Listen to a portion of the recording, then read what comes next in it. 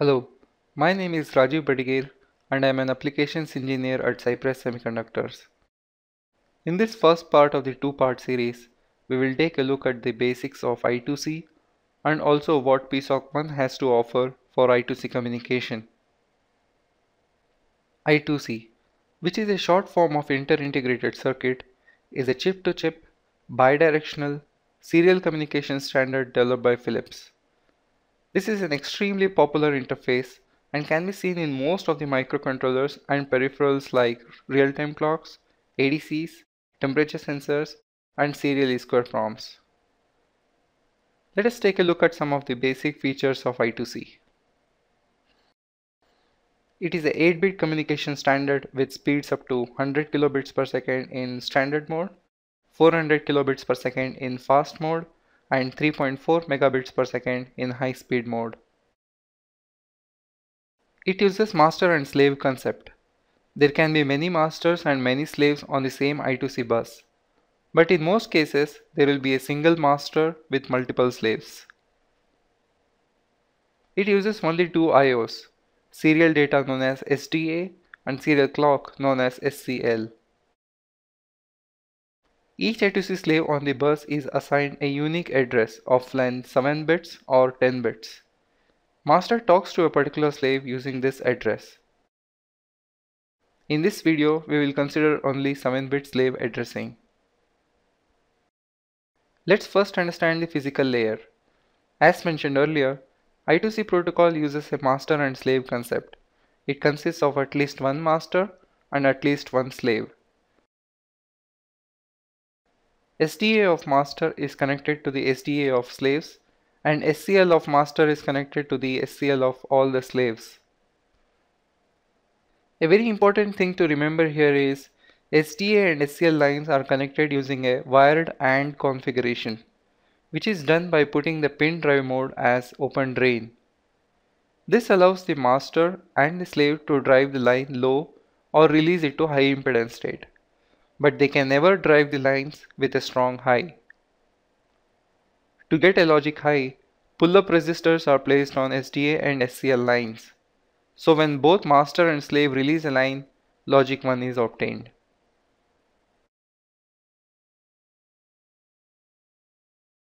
Let's now understand the protocol layer. I2C transaction consists of a start, followed by the address and read-write byte, then followed by data bytes, and finally terminated with a stop event.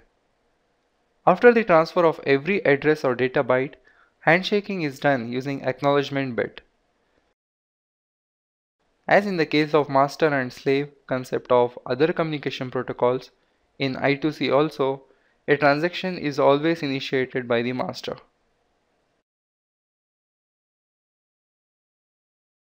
An I2C transaction begins with master generating a start event. In this, a high to low transition happens on SDA when SCL is high. This directs all the slaves to get ready for the address which will be sent right after this event. In most cases, slaves are addressed using a 7-bit value. These 7 bits form the most significant bits of the address byte. The 8th bit, which is the LSB, represents the read-write bit.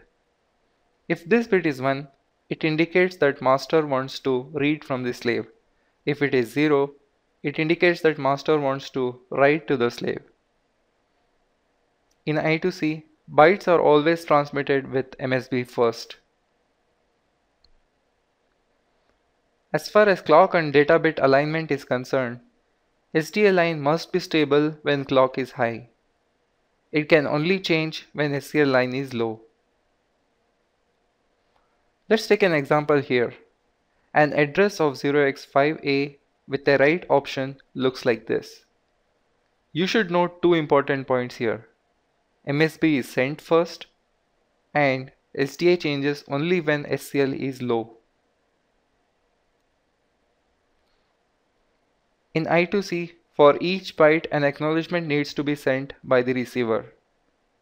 After transmitting the address byte, master puts the SDA line in high impedance state, thus allowing the slave to respond with an acknowledgement, which it does by pulling the SDA line low.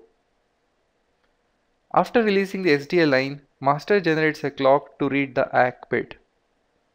If the transmitted address does not match any of the slaves present, none of the slaves would pull down the SDA and the line remains high. Master interprets this as NACK. A slave that generates ACK should release the SDA after the SCL line goes low. If NACK is received, master can either issue a stop command or reissue the start command. If ACK is received, master can proceed with the read or write operation. In the write operation, master starts writing data immediately after the acknowledgement for address is received from a slave. On completion of each byte, master releases SDA and clocks in ACK bit from the slave. A slave can send an ACK if it is not able to receive any further data.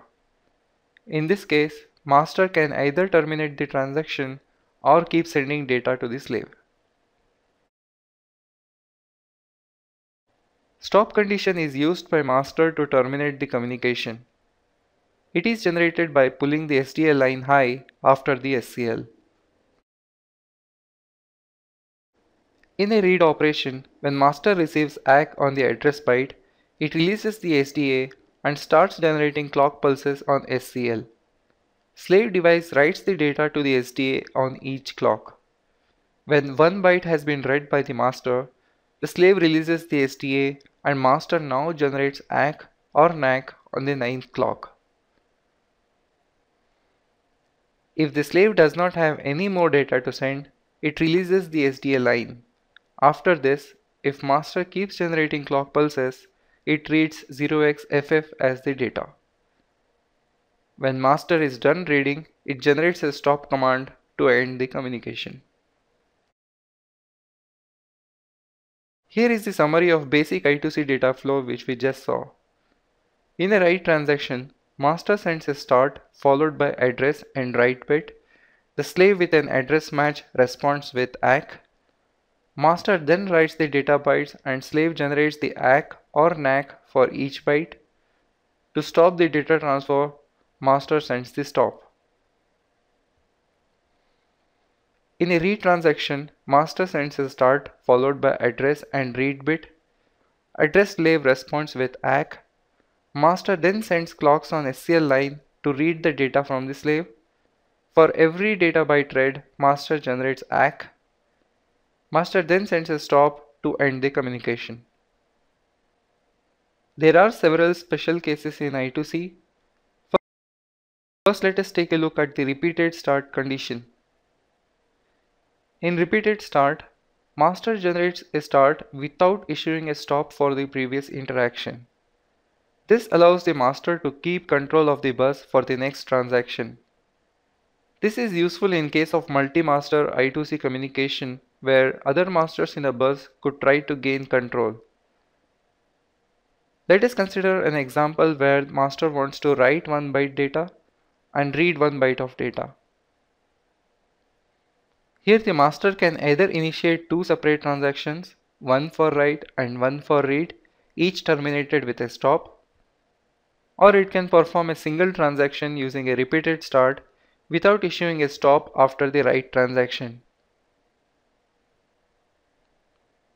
Another special case is arbitration. Arbitration is required in all communication protocols where the communication medium is shared. In I2C, as there can be multiple masters, arbitration is required. The rule here is master devices connected on the bus should always monitor the bus state. If the start condition is issued by one master and the bus becomes busy, the second master should not try to talk until the first master releases the bus by issuing a stop. But what happens when multiple masters try to start the communication at the same time? To understand the situation, we must first understand the concept of clock synchronization. All masters generate their own SCL clock. Thus, when two masters try to communicate at the same time, it is necessary that clocks from both the devices are synchronized. Let's consider clock 1 and clock 2 generated by two masters. SCL is clock observed on the bus. Each master uses counters to decide the logic 0 and logic 1 duration of the clock. Let us call these as logic 1 counter and logic 0 counter. For the sake of easy understanding, let's assume that master 1 first pulls down its clock. At the same time, it starts its logic 0 counter. Due to wired AND logic, SCL is pulled down as well. This forces master 2 to pull down its clock and starts its own logic 0 counter. Logic 0 counter of one of the masters will elapse first. Let's assume it is master 1. Master 2 clock is still at logic 0. So master 1 has to insert wait period in its clock till master 2 clock goes high. When master 2 clock goes high, the logic 1 counter in both the masters are started simultaneously. When the logic 1 counter of one of the masters elapses, the SCL line is pulled low again and the process repeats. In this way, clocks from both the masters are synchronized. It is interesting to note that the logic high duration on the SCL line is decided by the master which has the lowest logic 1 counter period, whereas Logic low duration is decided by the master which has the highest logic 0 counter period. It is also necessary to note that clock synchronization is also performed by the slaves on the bus. Slaves hold the SCL line low till they can process the received data. I2C spec allows the slave devices to do so to match its speed. Effectively, the logic high duration on the SCL line is decided by the fastest of the masters and the logic low on the SCL is decided by the slowest of the masters and the slaves. Let's come back to arbitration process when two masters try to start communication simultaneously.